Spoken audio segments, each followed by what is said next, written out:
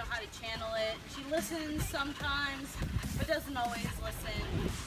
So let's see what Xena can do. Xena, down.